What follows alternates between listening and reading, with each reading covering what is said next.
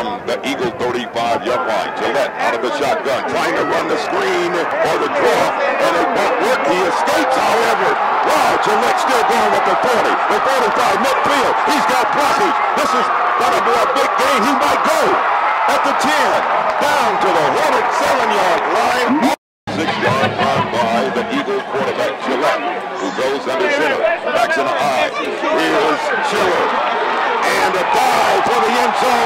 He'll make it in. Two of the Eagles. Dominguez, empty backfield set. Across the middle, wide open, T.C. McWilliams. Touchdown, Hornets.